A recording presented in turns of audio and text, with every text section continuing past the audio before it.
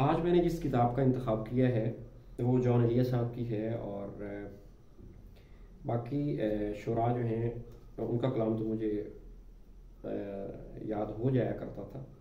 लेकिन जॉन साहब को ना पढ़ने का इतफाक़ बहुत कम हुआ है। और, इस, के लिहाज से सबसे पहले तो ये मैं आपको इसका सरेवार दिखाता हूँ गोया बाकी इनके ये हैं जी, शायद, यानी, गुमान और लेकिन। उनके नाम की जो नाम वो रखते हैं अपने मजमू कलाम का, उनकी सलासत और रवानी से आपके उनको शेरी ओक़ और उनकी जो कुदरत और दस्तरस है उनकी शायरी पे, वो इस अतबार से वाजह हो जाती है कि वो शायरी के किस मकाम मरतबे पर फायज थे। आज मैं उनका एक छोटा सा है, उनकी शायरी भी पढ़ूँगा। बट सबसे पहले प्रोफेसर तहीर नफसी साहब हैं जिन्होंने जो उनकी एक नज़म है जी। मार्ग नागहाँ। तो उसके हवाले से ना अपने इजहार ख्याल किया है। मार्ग मसीहाई के उनवान से जो है उन्होंने जॉन साहब के शेरी ज़ौक़ और अदबी जो पैराए सुखन है, उसकी वजाहत करने की कोशिश की है। तो ज़रा मुलायजा हो। अदब को अमूमन दो अकसाम में बांटा जाता है। एक तुरबिया, दूसरी अलमिया।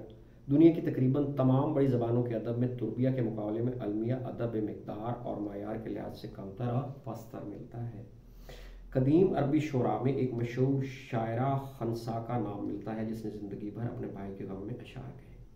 हज़रत अब्दुल मुत्तलब के बारे में उनकी वफ़ात पर उनकी शराफत, शुजात, सखावत खाना काबा की खिदमत और अरब कौम की सरबुलंदी अजमत से मुतलिक कारनामों के बारे में कुछ अशार कहे गए। हज़रत उमर तरह ने एक शायर से कहा कि मेरे भाई की वफात पर अशार लिख कर लाओ। जब उसने अशार सुनाए तो उन्होंने कहा, इनमें वो ज़ोर बयान और दर्द असर नहीं जो तुम्हारे भाई के बारे में कहे गए अशार में है। शायर ने बरजुस्ता कहा, जनाब, वो मेरा भाई था, उसकी मौत से मेरे दिल पर चोट लगी थी। अगर आप अपने भाई के बारे में लिखते तो शायद इसमें दर्द असर ज़्यादा होता। फ़ारसी में, फिरदौसी ने शाहनामे में सोहराब की मौत पर उसकी माँ तहमीना की ज़ुबानी रंजो गम का इजहार किया है। फ़रखी ने महमूद गजनी की वफात पर दस बारह अशार लिखे। अंग्रेज़ी ज़ुबान में शायर ग्रे की एक अलमिया नज़म मिलती है।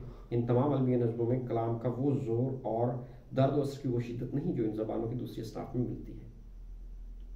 इन तमाम मिसालों से ये हकीकत साबित होती है कि लोग अमूमन सिर्फ़ ख़ास तल्लु की बिना पर ही एक दो बार किसी के गम में मिलकर रोते हैं।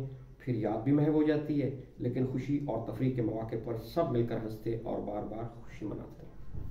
उर्दू ज़बान को ये खसूसियत हासिल है कि उसका अलमिया अदब भी तुरबिया अदब की तरह तनाव और तसर के लिहाज से बहुत वकी और वसी है, बल्कि मकदार और मैार दोनों लिहाज से भी नहायत अरफा और अला है।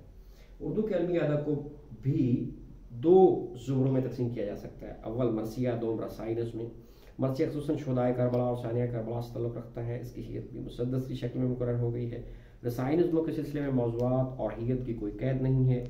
यानी रसाई नज़मों में मरसी के सिवा दूसरी रसाई असनाफ, मसलन सलामहा और आम असनाफ जैसे गज़ल मसनवी, रुबाई नज़ वगैरह किसी भी सिनफ में लिखे हुए अशार शामिल हो सकते हैं। चुनाचे हर तरह की शख्सियात और वाक़ से मुतल भी बेशुमार रसाई नज़में लिखी जाती हैं।